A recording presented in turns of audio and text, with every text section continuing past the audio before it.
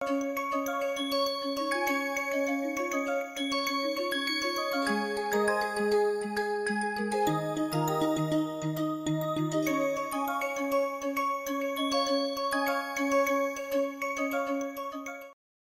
have seen that we can bypass the Gibbard-Satterthwaite result in the special domain called the single peak domain.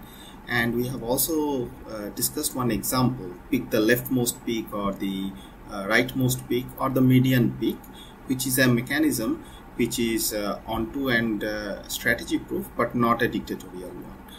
So in this uh, module we are going to look at that specific mechanism in, in some further detail and we'll show that uh, this is this is indeed strategy proof. This class of mechanisms is actually strategy proof. And the class of mechanism that we are going to talk about they are named as median voter social choice function it's a class of social choice functions. So how is it defined? So it is defined in the following way. Uh, so it's uh, it's a social choice function which is mapping from this restricted domain of the single peak preferences to the set of alternatives. Uh, if there exists a collection of n minus 1 peaks and we'll uh, call these peaks as the phantom peaks um, the name being phantom because uh, it, it is not a real peak so it's not an agent uh, who, who is having this kind of peak. Rather it, it, can be chosen arbitrarily. And based on that we actually uh, define what is the median. So the social choice function is actually defined in terms of uh, in particular it could be um, uh, it could be indexed by b itself. That is given a specific b a set of phantom phantom peaks we are picking the median of those peaks and also the peaks of the players.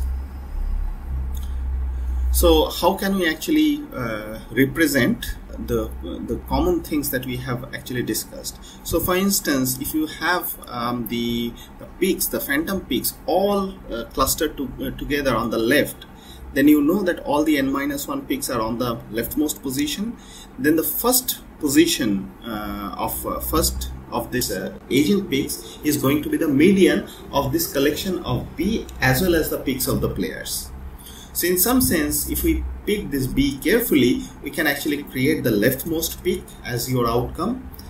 Uh, alternatively, if all the peaks are on the rightmost position, that is by leftmost and rightmost, I mean uh, the ones that are uh, uh that can have the, the maximum negative. So if, if in the domain there is a leftmost position, uh, there cannot be any agent peak which is uh, even further left to it, and there is no agent peak which is further right to to, to it then if we pick all those phantom peaks to be the rightmost peaks then we know that the, the rightmost agent peak is going to be the median of this collection and therefore we can also reproduce that rightmost peak uh, picking uh, uh mechanism using this uh, this description of the median voter and similarly if you have if you want to pick the, the the median of the agent peaks uh, then you can actually pick half of them. So half the uh, uh, peaks to be on the left, half the phantom peaks on the right.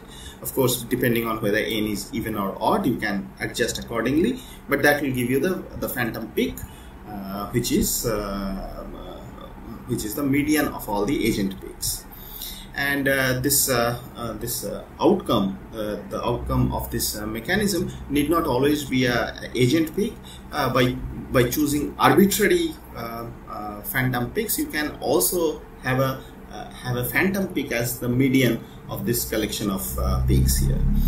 All right so here we are uh, what i am calling median we have the, the computation is the median with respect to the common ordering the, the common ordering of all these uh, uh, of all these alternatives. We have already defined that a, uh, a single peak preference is defined with respect to this common ordering over these alternatives and that is uh, that is this one and we are uh, computing the median with respect to that uh, ordering in this uh, examples set of examples we are assuming that they are all located on a real line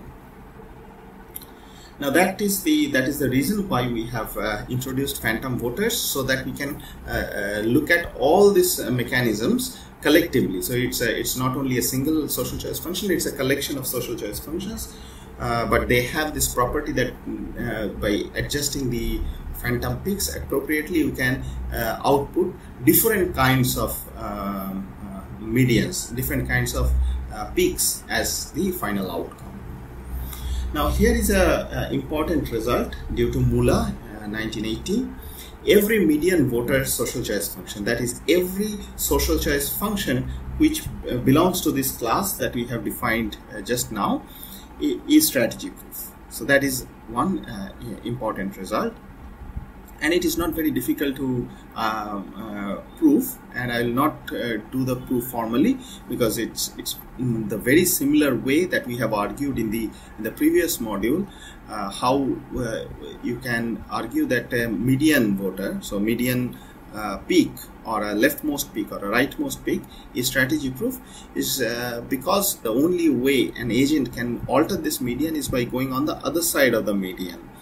And uh, presumably because this is a single peak preference if uh, the only way it can uh, change that median is by reporting its peak to be on the other side of the median which essentially uh, uh, is less preferred than the current outcome and that is essentially the uh, idea of this proof again now, um, notice that uh, this is a very special property of median and mean uh, or any other kind of stat statistical measures of uh, all these peaks does not have this property. In fact, you can manipulate means and you can construct one example.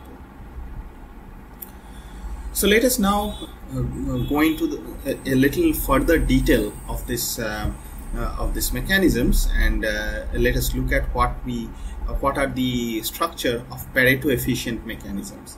And here we have a claim. Let us uh, let us imagine that uh, P min and P max are the the leftmost and the rightmost peaks. And again, by leftmost and rightmost, we mean the, the common ordering uh, uh over all these alternatives. Um, so if they are the leftmost and the rightmost peak according to that common ordering, then f will be Pareto efficient if and only if this uh, uh, outcome of that social choice function lives within that minimum and maximum point.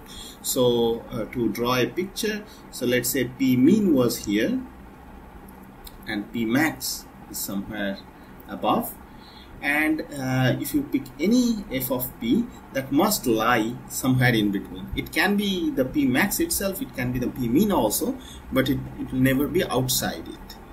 So uh, because this is an if and only if condition we'll prove it in both directions. So the first is the the forward direction or the only if direction.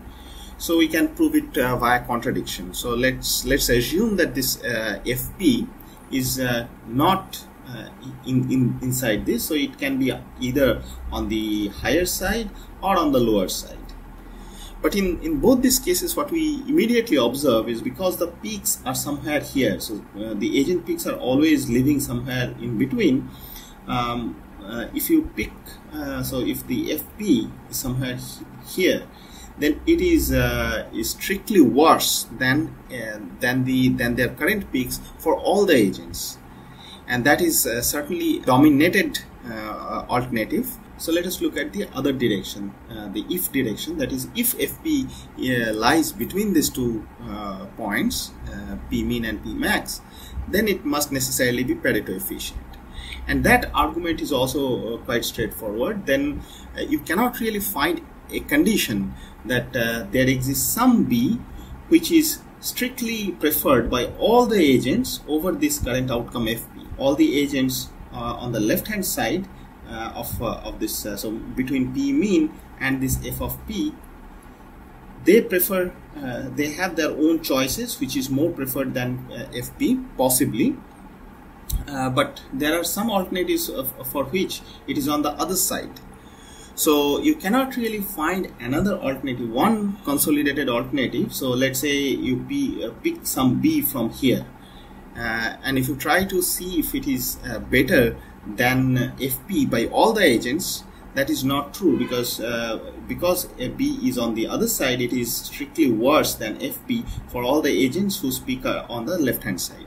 Similarly if B falls here there uh, for all the agents which are on the right hand side for them B is strictly worse than FP So we will never find uh, this kind of an example where uh, uh, where this FP is Pareto dominated, and therefore the the, the condition of Pareto efficiency is vacuously true. Okay, so uh, in the um, in the Gibbard-Satterthwaite setting, we have uh, discussed certain properties, and we are going to look at those properties, uh, the implications of those properties with strategy proofness in this uh, current setup of uh, single peak preferences as well.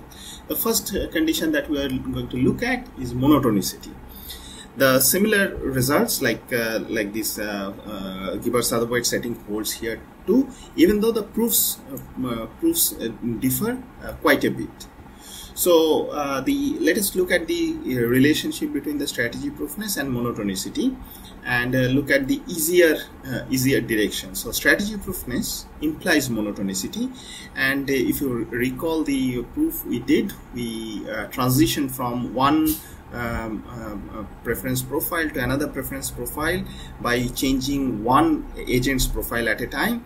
And the same proof will hold even for this setup. So there is nothing uh, very interesting uh, in, in this direction.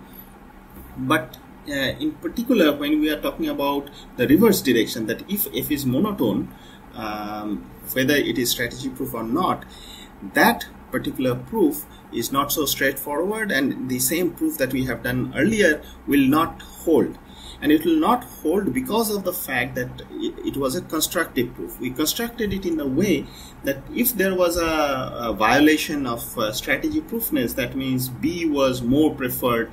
Uh, so B is when the agent is manipulating and getting an alternative B and when it is not manipulating it is getting uh, A and that was preferred by some agent I uh, in, in that setup. That uh, and uh, then we have constructed a different preference profile P double prime where B was on the top for that agent and A was directly below this and this was possible in the unrestricted domain in the Gibbard-Satterthwaite setting. But in the uh, in the single peak preferences so you can imagine that the B could be somewhere here and A can be anywhere else. So A can be here or here uh, based on what what is their relative uh, uh position in this uh, in this total ordering. Remember that this uh, the the common ordering you cannot alter in in single peak so you will have to also take care of all the intermediate uh, uh, alternatives which are lying between A and B. And therefore, we cannot just uh, pick B and A right after each other because then uh, you will also have to argue what happens to these alternatives here. Because they, they will certainly, in a, in a single peak preference, they will certainly be uh, between A and B and we'll have to uh, argue that. So what I'm trying to suggest is that the, the reverse, in order to show the reverse direction, uh, you will have to also uh, do a possibly different construction or provide an counterexample. Maybe maybe the, uh, this uh, this implication is not true at all.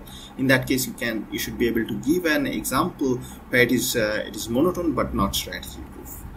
Let me give you the answer. The the reverse implication is also true but uh, the uh, the construction will be a little different. So uh, I leave that as a as a homework exercise. So the next result that we have already shown in the case of uh, uh, Gibbard-Satterthwaite that is uh, the unrestricted domain um, about ontoness, unanimity and Pareto efficiency. As before the Pareto efficiency is the the strictest notion and it implies unanimity and ontoness. That holds even here too but uh, the the reverse implication that whether ontoness will imply unanimity and unanimity will imply Pareto efficiency under the condition that uh, this uh, social choice function is strategy proof that requires some amount of work and that is exactly what we are going to do here. And that will also give you an idea that how we are going to uh, do the construction.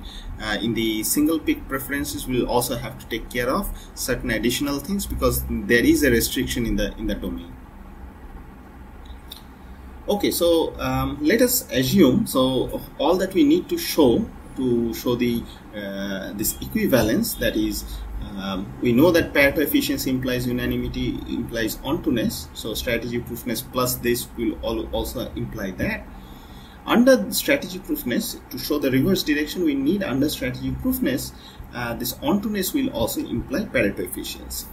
So let us try to prove this via contradiction. So let's assume that F is strategy proof and onto but not Pareto efficient. So what does that not Pareto efficient mean?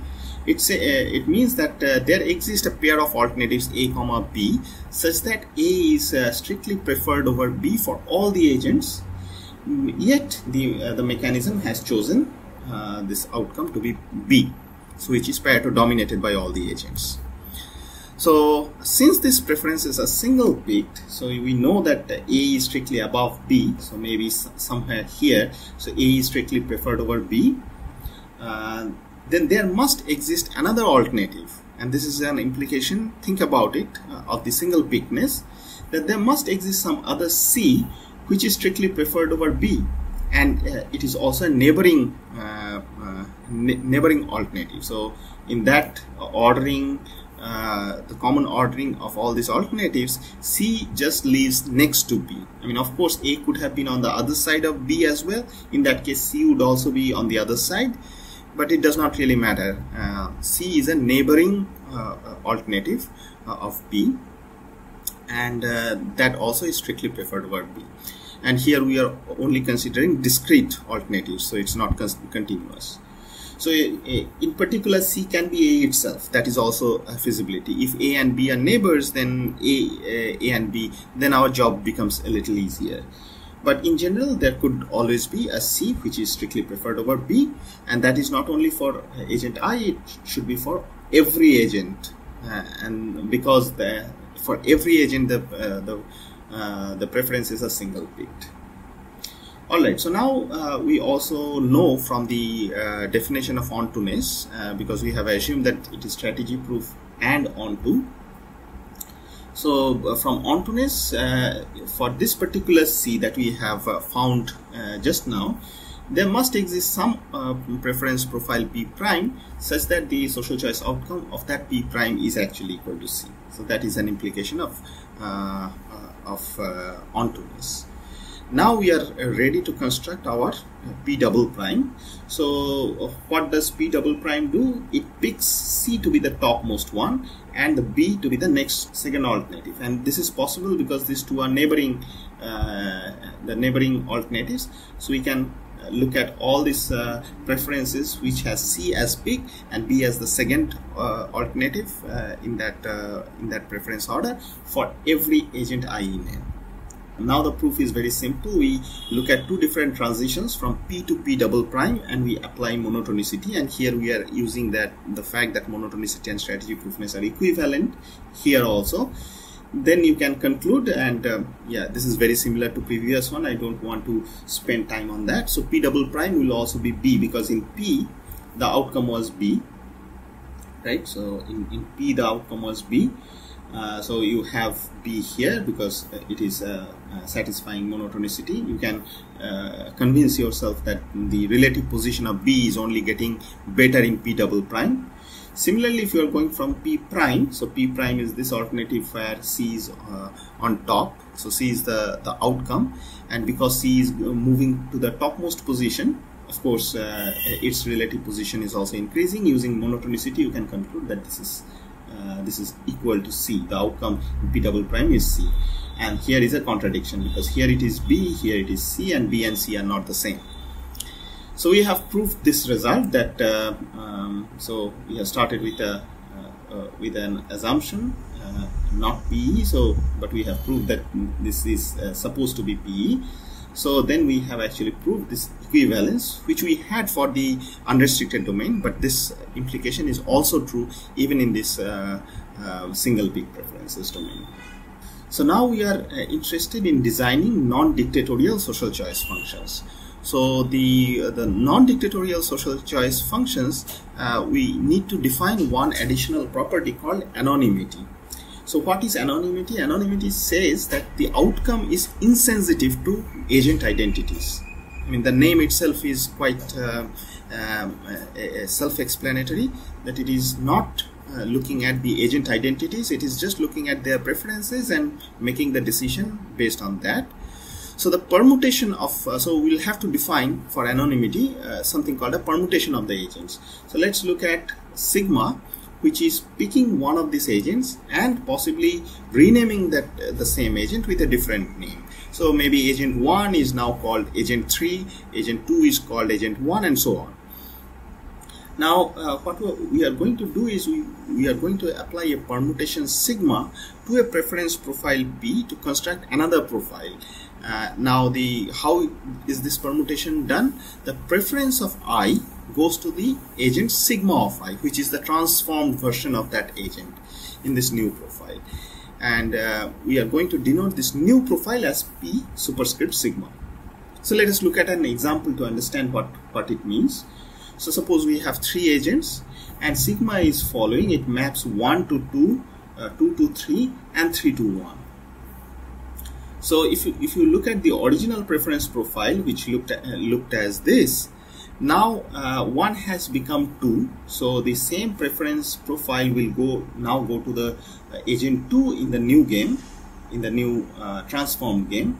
2 will go to 3 so the 2's preference has gone to the agent 3's preference and 3's has become 1 so 3 has become 1 here. So that is the uh, the meaning of uh, this uh, permutation of this permutation of the preference profile now the social outcome should not alter due to agent renaming. So what we have done we haven't changed anything in the population. The the same population remains. We have just renamed the uh, the agents.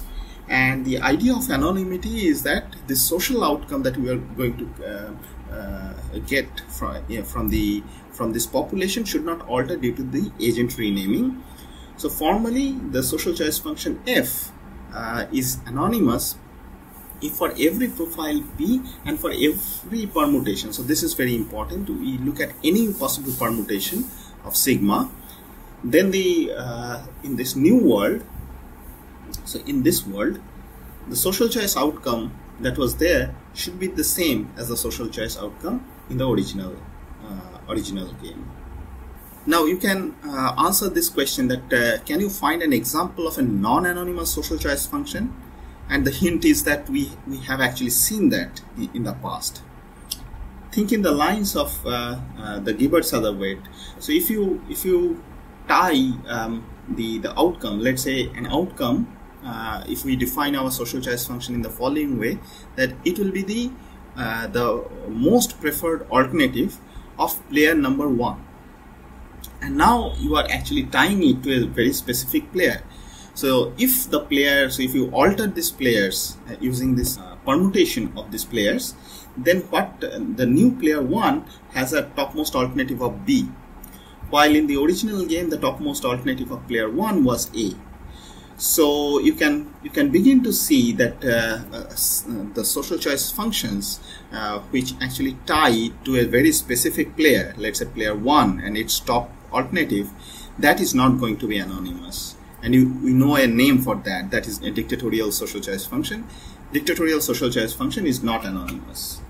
And by uh, uh, we'll see in the next module that uh, by introducing this uh, notion of anonymity and enforcing this we are actually ruling out those uh, dictatorial allocations